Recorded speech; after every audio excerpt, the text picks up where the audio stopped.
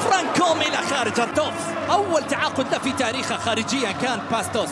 ولكن هنا كرة لمصلحة بالتالي له تجربة راح نتحدث عنها مع أحد الفرق السعودية. هنا كرة ملعوبة لمصلحة الأهلي مع صافرة وخ... ربما الأمور تغيرت في المنتصف بالنسبة لنادي جدة خصوصا في الضغط الأهلاوي اللي موجود في زياد الجهاني يلعب كرة للخلف الشام فايق.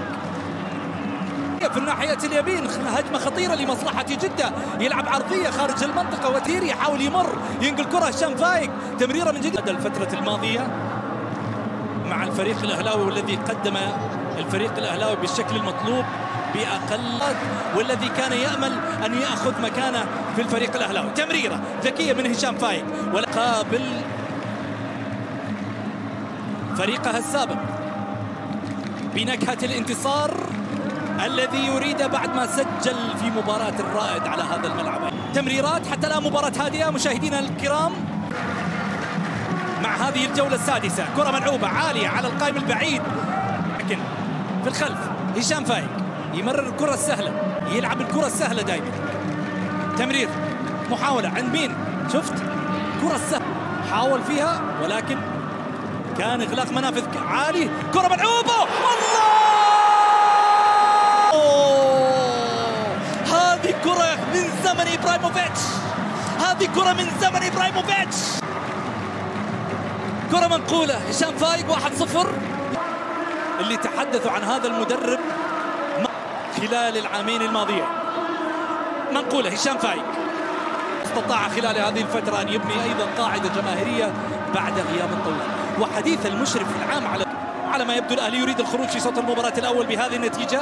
التعادل أو عفوا 1-0 بس باستوس اللاعب في منتصف أرضية الملعب هشام فايق الموزع الرئيسي.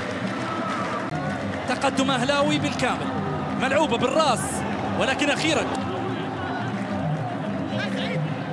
ملعوبة ركلة الزاوية بالراس الله! هندي اللي يعود من الجهة اليسار للجهة اليمين لمحاولة ورياض بودبوز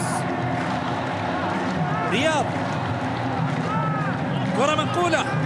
واحد يلعب على المرتدات. عبد العزيز البيشي قرأ عقلية موسيمياني في شوط المباراة الثاني. موسيمياني هو للاعب آخر. ضغط في هذه الحالة ملعوبة الكرة. بالراس داخل المنطقة. كرة ملعوبة. مالكم محاولة من جديد. دربكة دفاعية. دورية ليش؟ يعطي حافز. يعطي حافز للني ياخذ كرة فيها تصويبة وأخيرا إلى خارج أرضية الملعب. يوسف العبد كنترول عالي ما شاء الله. عملية التصويب هنا كانت. زياد هشام لليسار بعيد. أيضا. قال.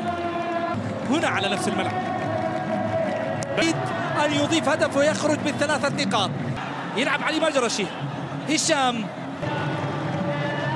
ملعوبة الكرة. إلى اليسار.